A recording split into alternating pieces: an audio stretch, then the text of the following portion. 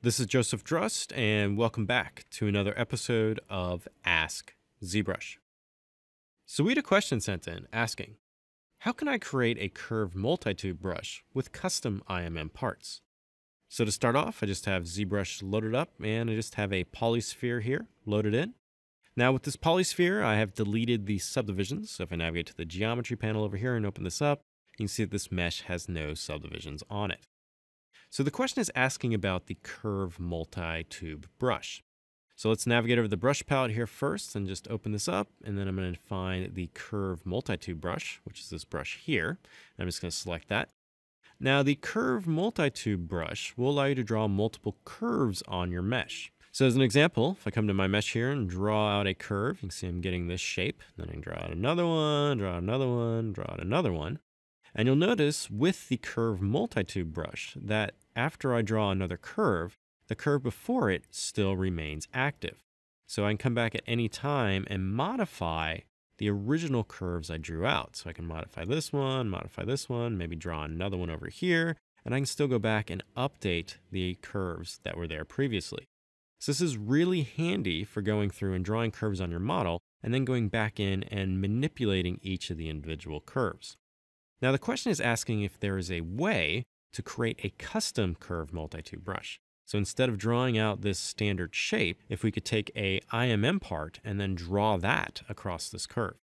So the answer to this is yes. And in order to do this, you just need to copy a part from an existing IMM brush.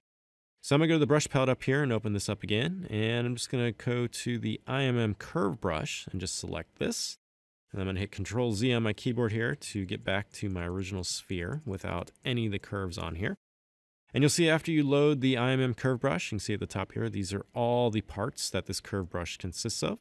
So I'm just going to select this shoulder strap here. And then as an example of what this brush does, if I just click on my model and drag out, it'll start dragging out this shoulder strap here. Now this is a tri-parts brush, so it consists of three different parts. So you have a start part, an end part, and then the middle part repeats. Now this brush here is still your standard IMM curve brush. So if I draw out another curve here, you can see the original one goes away. So I'm not getting that same functionality as I was with that multi-curve.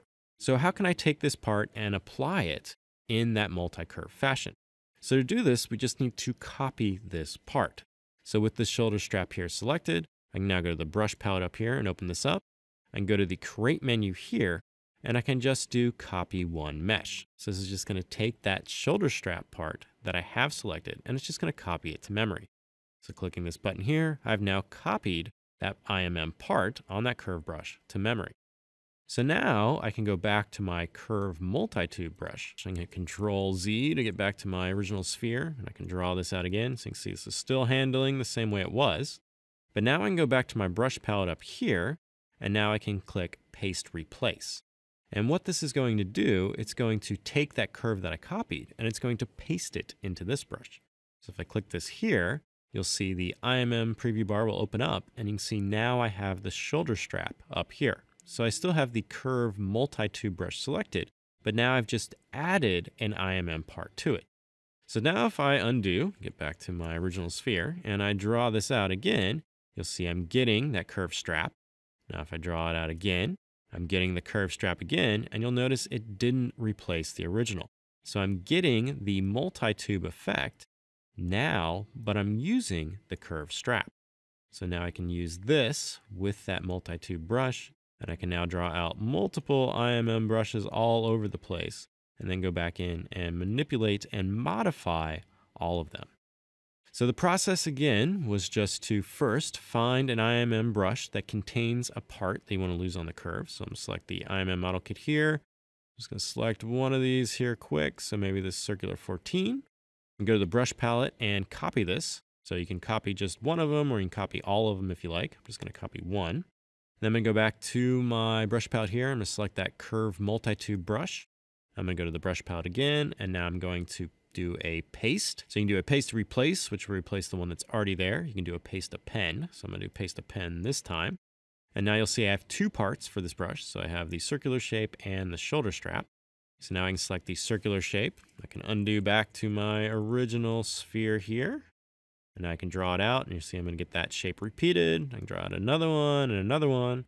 And then I go in and modify all these curves as I like. And then after you have this done, you can just save this brush out as a new brush by going to the brush palette here and just going to save as. And that will now store a new curve multi-tube brush that has these IMM parts embedded into it. So if you have any other questions related to ZBrush pipelines or processes, please use the hashtag AskZBrush on Twitter. Happy ZBrushing!